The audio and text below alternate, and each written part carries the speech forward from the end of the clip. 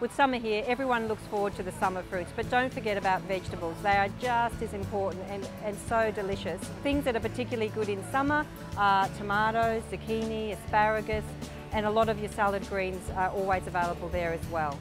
When you're hungry and you're thinking about a snack, think about snacking on capsicum, snow peas and carrots.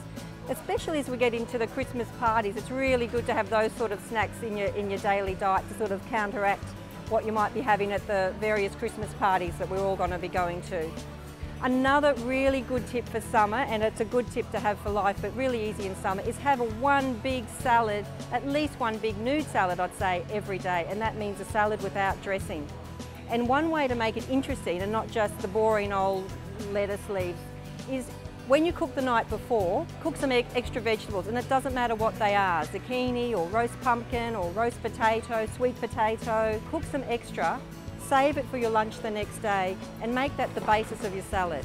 Then you start adding the greens. Add lots and lots of that in and turn your leftover vegetables from the night before into this great big interesting vegetable mix now that won't be enough for a meal, but if you want to turn that into a meal, then you throw on some extra things, some nuts maybe, some tofu, maybe a boiled egg in there, maybe a bit of leftover chicken or something, and that turns what can be an ordinary salad into a meal, and then for complete round off, throw in a bread roll and you're done. You've got a great healthy meal. If you take that sort of thing through your summer, you're going to feel better, you're going to feel good about yourself, and you'll be getting those five serves in every day.